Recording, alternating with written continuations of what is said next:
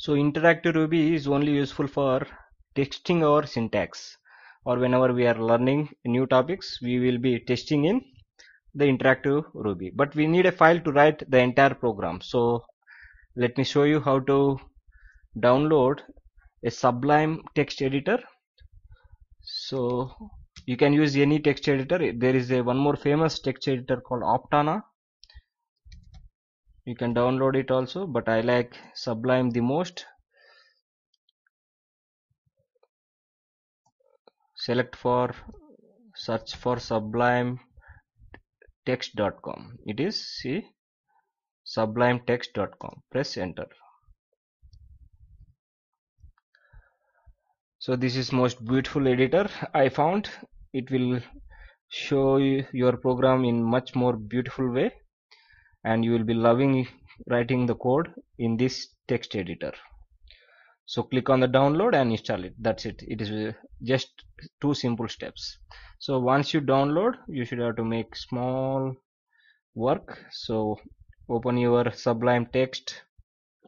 So this is how your first screens look. So go to the file. There are many options in that. You can explore it one by one and first you create a new file. Once you have created a new file save as. Click on save as. So don't forget you should have to always save the file where you have installed the ruby. That you should have to do. So we have installed it in c. Go to the c and go to the ruby and write your file name. Let me write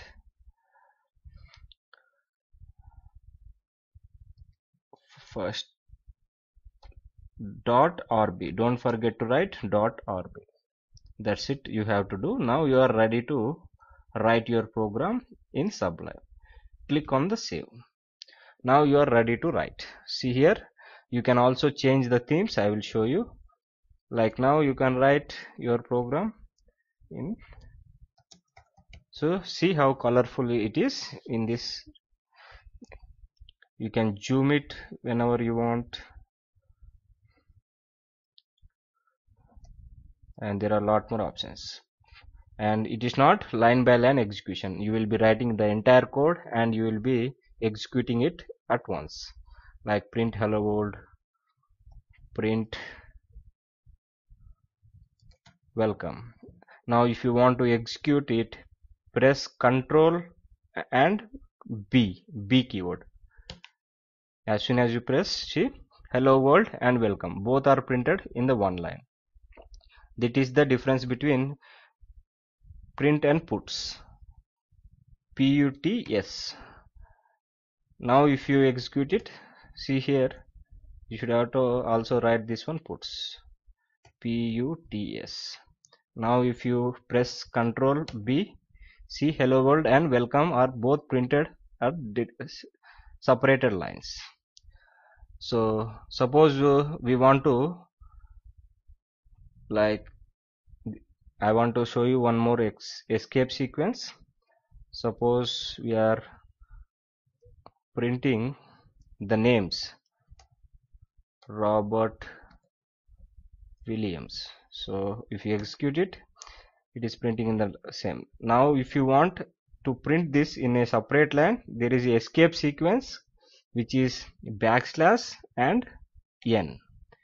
If you put backslash and n whenever the system get encounter it will place the cursor in the second line. Let me execute it and let us see the result. Control b. See here robert and williams are. So as soon as this one is getting executed whenever this get encountered the system is placing the cursor in the next line and the williams is getting printed. So like this we have one more escape sequence which is a tab sequence which is backslash and t. Now let us see execute it. So it will place the tab. Tab is nothing but four to five spaces between them. Robert williams. So this is all about escape sequence. And we can also we have discussed like a is equal to let us say hello. And b is equal to let us say world now we can print a plus b. Now if you execute see here we can add the strings also. As we are adding the numbers we can add the strings also. And one more thing I want to show you let us say a is equal to 3 b is equal to 5 so now 5 is a string. It is not a number anymore. Anything placed inside the quotations are treated as strings. Even the space are also treated as characters. Now we you cannot add like print a plus b. This will give error. See it is error. Because b is not a integer. It is a string. You cannot add add different data types. So this is all about little bit about this sublime editor. And you can also change the color schemes according to your requirement. Like now if you write it will show you different.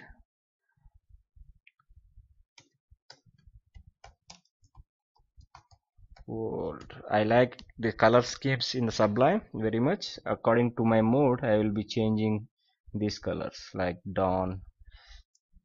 This is also a very good color.